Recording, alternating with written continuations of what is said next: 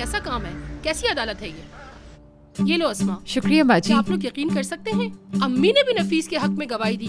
वल्ला मुझे अब तक यकीन नहीं आ रहा। इस बात की खुशी हुई कि नफीस को मेडिकल रिपोर्ट सही मिल गई। लेकिन फिर क्या हुआ? ईद हाथ से निकल गया। क्या हुआ भाई? अगर ताहिर ने बच्चे को एक छोटी सी छलांग लगवाई तो? जैसे छलांग लगा के माजूर हो गया हो बच्चा। समंदर से वापस तो निकाल लिया ना?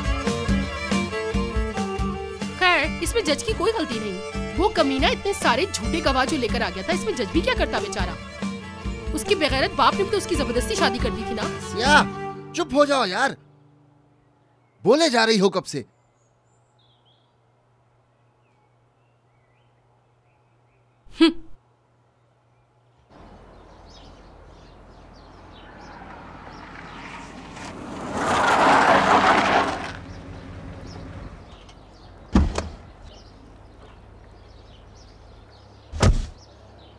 अस्मा को भी बुलाया है क्या? अस्मा का क्या काम यहाँ? मुझे नहीं पता।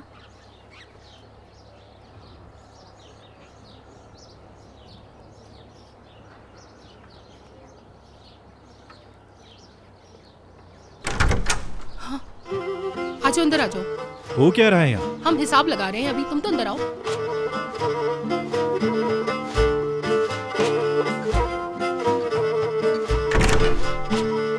अस्सलाम वालेकुम अरे वालेकुम अस्सलाम। कैसे हो बेटा? मैं बिल्कुल ठीक हूँ भाई। ऐसा दोबारा ना हो। अल्लाह करे। आपने गवाही दी उसका बहुत शुक्रिया। तो भाई सुबह सुबह यहाँ जमा होने का क्या मकसद है? हाँ अगर यहीं रहते होते तो बुलाना नहीं पड़ता तुम्हें। भाई आप फिर से शुरू हो गए ना? बेटा खामोश रहो। एक बार सुन तो लो क्या कह रहा है। सुनो आकर बैठो यहाँ पे जल्दी से। आ जाओ जल्दी। यहाँ बैठो और बहन तुम वहाँ बैठो। जल्दी बैठो। अस्मा अब मुझे बताओ कि नफीस ने अपने बेटे की विलायत को क्यों खो दिया? आरजी भाई आरजी विलायत को खोया है इसने। जो भी है ताहिर। जवाब दो अस्मा। ताहिर के साथ गैर इखलाकी ज़िंदगी गुजारने की वजह से खो दी बहनोई जी। उफ। और एक छोटा सा मसला भी है। अच्छा ठीक है। पर ये सारे इल्ज़ाम झूठे हैं। हाँ? पर ये तो सब झूठ है ना? हमें पता है कि ये झूठ है लेकिन अदालत में ऐसा कहने से फ़र्क नहीं पड़ेगा नफीस। एक मिनट। हम कोई गलत काम नहीं करें जिससे फ़र्क नहीं पड़ेगा। बात सुनो ताहिर तुम किस बारे में बात कर रहे हो? उस दिन तुमने दाऊद चाचा के पास जाके तमाशा किया सब बातें कर रहे हैं। और तुम नफीस के साथ ही होते हो ज़्यादातर। नफीस बुरा नहीं मानना। बेटा देखो तुम जब तक इसके साथ रहोगे जब तक उस्मान बाबा के घर रहोगे ये लड़की अपने बेटे को खो देगी भाई आप इस बारे में बात ना करें तो ज़्यादा अच्छा होगा क्योंकि मैं सोच के पागल हो जाता हूँ। कितनी दफ़ा तुम्हें समझाऊं यार तुम लोगों की जान महफूज हो तो मुझे नफीस और उसके बेटे से कोई मसला नहीं है। कितनी दफ़ा कह चुका हूँ ये बात। बेटा जब मैंने ईद को दिया था तो तुम्हारी जान खतरे में थी। सही है। तुम्हारी वजह से ईद को नफीस से ले लेंगे वो। अब आप ये कह रही हैं कि नफीस से दूर रहूँ मैं और उस्मान साहब के घर ना जाऊँ ऐसा ही है ना? हाँ यही कह रहे हैं हम। फिर तो आप लोग बिल्कुल फजूल बातें कर रहे हैं।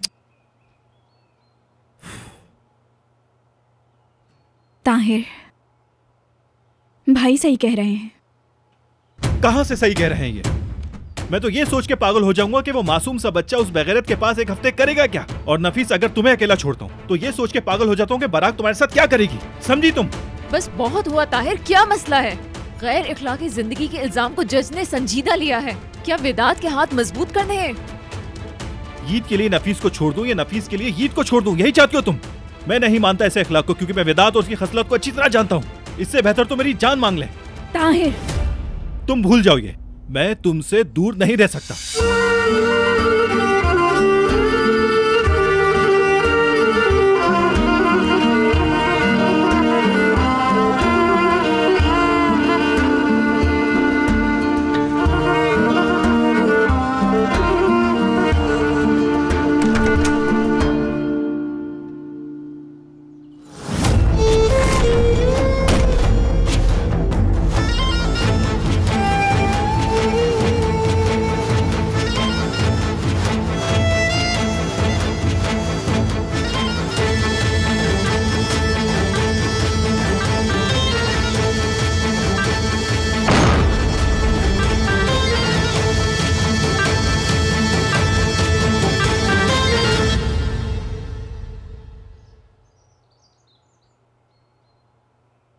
अब ऐसे सुकून से क्या बैठी हो? जाओ फिर उसके पीछे क्यों नहीं जाती? आसिया। नफीस? बहन, सुनो, मैंने तुमसे कहा था कि या तो यहीं रहो या चली जाओ, लेकिन ये सब ऐसे नहीं चलेगा। देखो, अगर ताहिर तुम्हें नहीं छोड़ रहा तो तुम उसे छोड़ दो।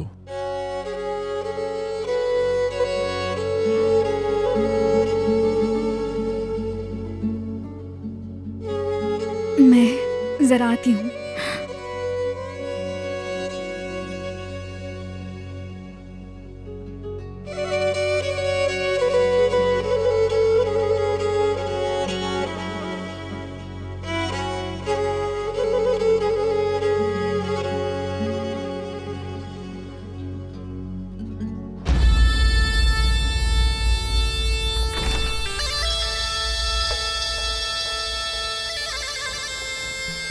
भाई, आप ठीक है?